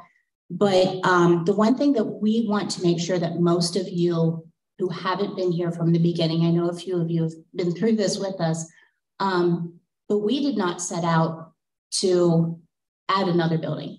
Um, that is just something, one of the things that we learned through COVID is what the disruption of the education to our students does to our students. Um, which is why when we started seeing how much these elementary schools, which of course you can see, are really the buildings that we have to concentrate on. Um, once we realized how much disruption some of this construction could entail for them, is when we entertained the thought of a whole new building. Perhaps these are just too old to upgrade. Perhaps we need to look at something that is going to be more conducive to our future. Um, it's not written in stone. That's not definitely the direction we're going. It's just what we're looking at because of these projections that are just expected with no crystal ball. Um, you guys have said it perfectly. We don't have a crystal ball. We don't know that um, these developments are actually going to come to fruition. We don't know that people are going to continue having kids or that, you know, when they get help having kids, that they're not going to end up with four instead of one. Um, we don't have a crystal ball for that. I think the one thing that we are trying to do is to share the information with you guys as we get it so that you understand where we're coming from as we make this decision, which is so difficult. Um, we are not looking to price anybody out of a home. We are not looking to raise taxes at all if we could help it. Um, the unfortunate part is the inflation that's hitting all of our pockets also hits our budget um, as a district. So please understand that every word that you guys have spoken to us, we have taken into consideration 100%. Um, we do not want to do more than we have to do, but we also want to make sure that what we do do takes us into the future so that you guys aren't all back here with us in 10 years.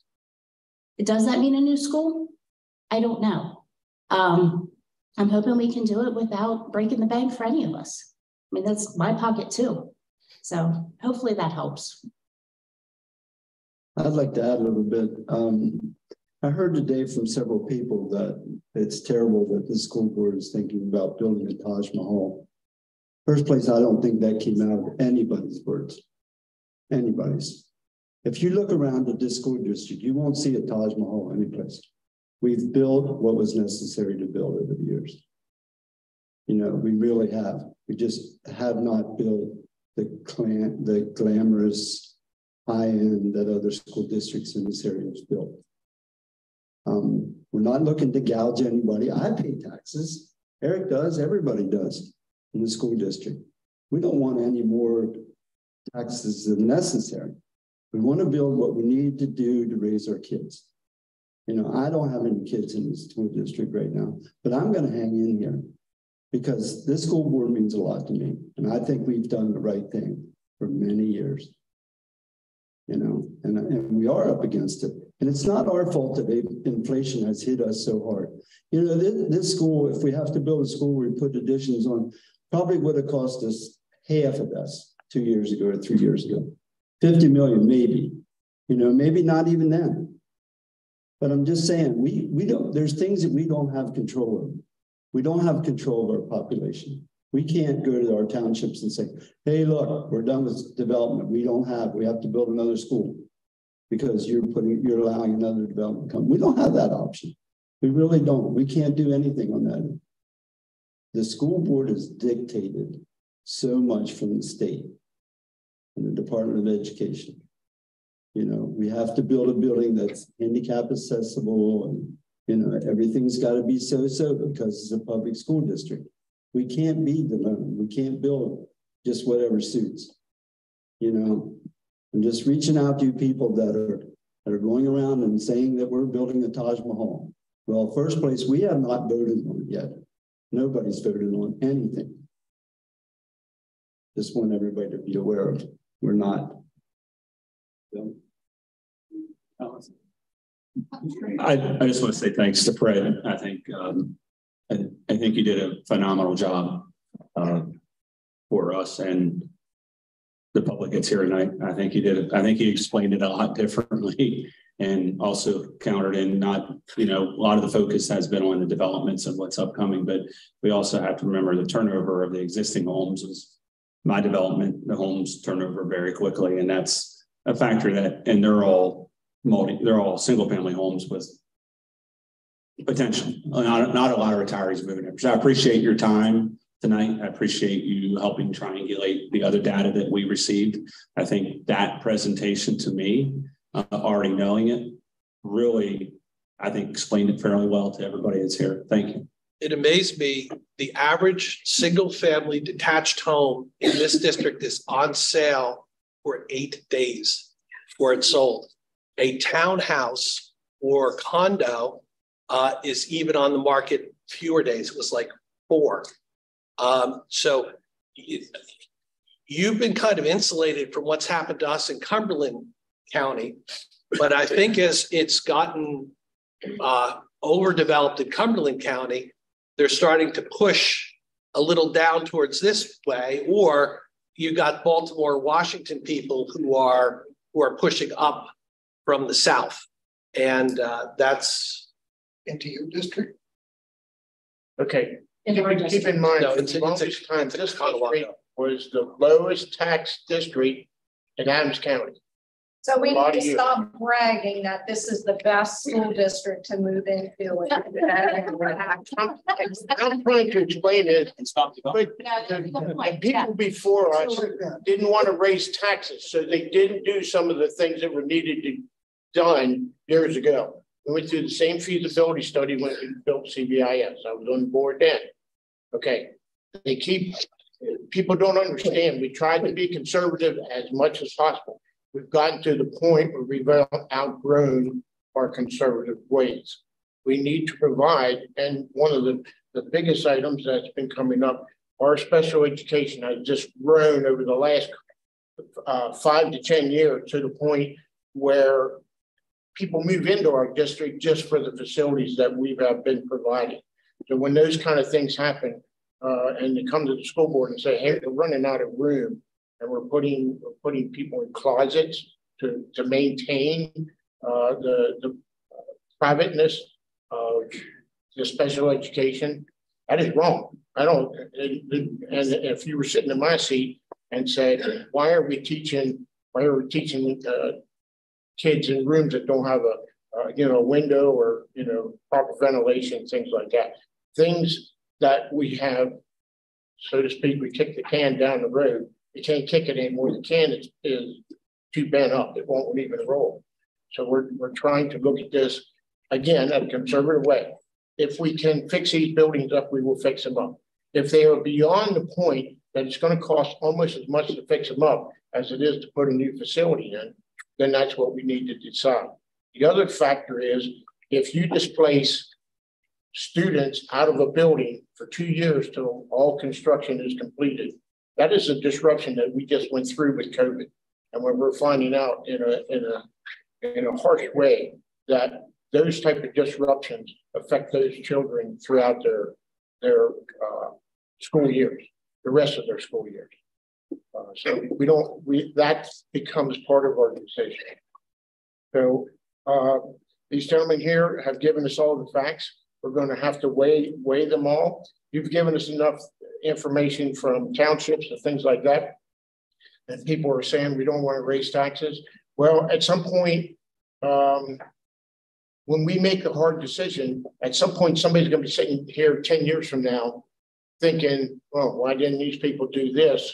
Now we're making another hard decision that we need to just basically start over. So we don't want that to happen also. So we will we will progress in a way that it's going to be beneficial for both students and the people that live in the community. And that's the best we can do. If we had that crystal ball, believe me, uh, I would use it and I would say, okay, everybody's going to be happy in 10 years. I don't know that that's possible. I just have two more real quick points since I still have the microphone. The first was because I like to talk. I'm just kidding. Um, the first point was that when we talked about the new school, um, we were not talking about just holding on to CTE or possibly even NOE. Um, those were factors that we would definitely be incorporated back into the budget. Um, CTE, as was said, is it's a valuable property to somebody um, not necessarily us if we don't continue using it as a school. We do know, however, that it is very much a community school and that a lot of people in that area appreciate having it that close. Um, again, something that we are taking into consideration. The other thing that, um, and Anthony can speak directly to this, the first thing that I looked at him, I said, we don't want Taj Mahal, we don't want gold and platinum, we want brick and mortar, and that's it. You know, we need it to be functional. We're not looking for the the um, building that you see right out on 94 up there in Bermudian with their, you know, eight turf fields and their chandeliers. It's not what we're looking for, no matter what we do, whether it's an addition or, or a whole new construction. That's just not what we're about. Pass that down. Get it that way for me. I just anyone. This gentleman has Yes, sir. How about the Burns Township and the school district get together? Well, listen to this. When Joe Mayer moves in to build two hundred and fifty homes, there's a surcharge tax for a school. Per lot. I don't think we. can. Okay, we were told, we, we can, we were told that's not possible. Well, I don't know, that's what I'm just asking. so that, that way would help offset the taxes and maybe help the elderly and help you. I, I, I agree. Yeah, we looked into that. We were told we couldn't see search. We have, we have no authority to, to make that happen. Hmm,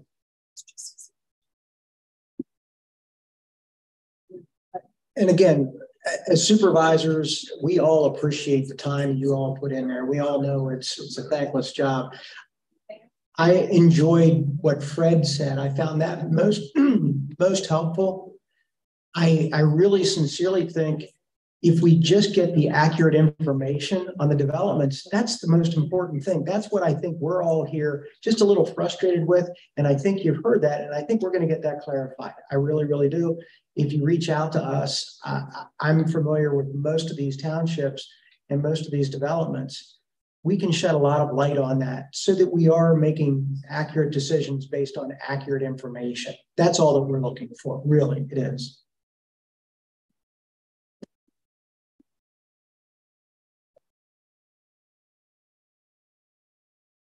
Harry, you're holding the crystal ball, right? you're hiding it. Is that There's a lot of information out there. No, I hear you. I hear you. So much easier, with this. Thank you there. I appreciate that. No, Thanks. It seems like a logical idea. Sure.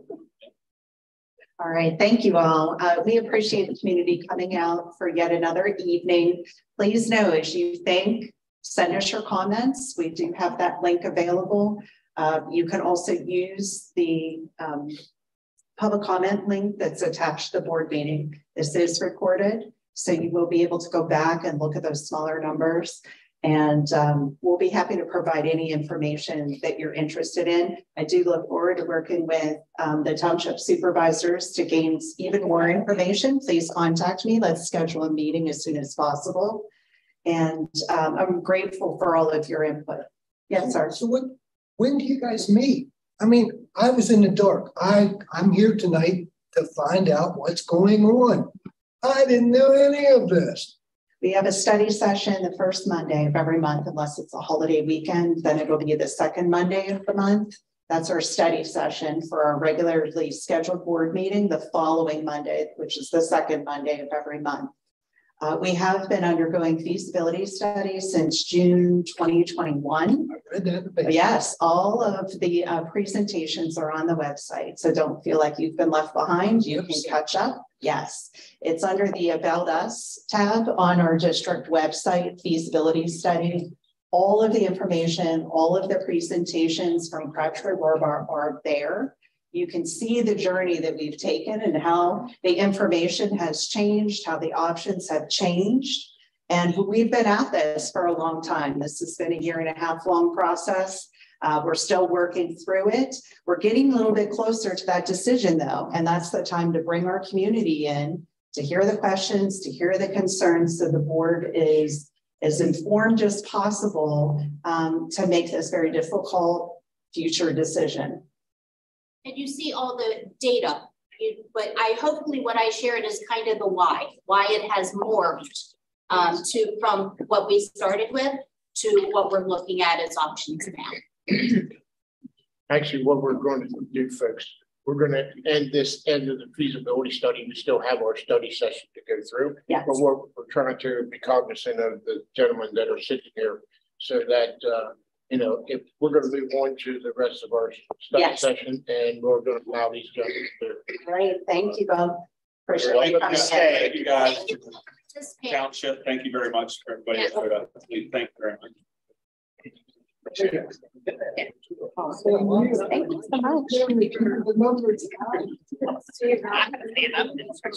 so much. Sure.